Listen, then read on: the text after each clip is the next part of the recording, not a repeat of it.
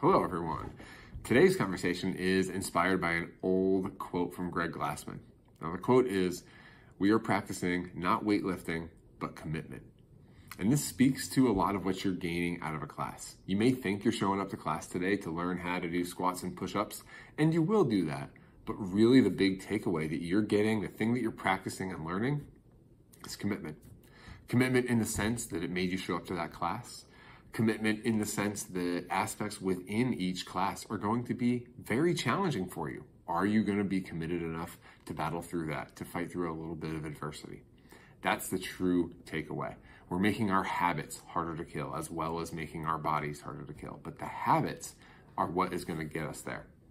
And this next piece may sound crazy, but a true measure of success for myself or hopefully any gym owner would be that if our gym ceased to exist, if it just disappeared off the face of the earth, how many of our current members would remain active and healthy?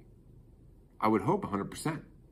And I hope that should that ever happen, it disappears off the face of the earth, that all of you would find somewhere else or something else that is going to keep you happy and healthy.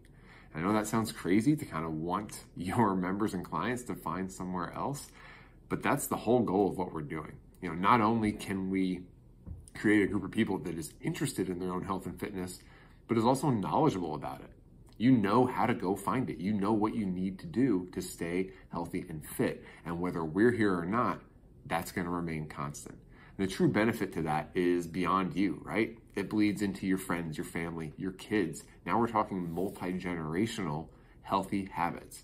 This is super important and it's one of our most important missions here. Hopefully, this frames things a little bit better for you so it's not as big of a deal when you come in and you miss that PR on a clean today because you still practiced your commitment. Even if you showed up and had a bad day, you practice your commitment. And that's truly what's going to do the most for you.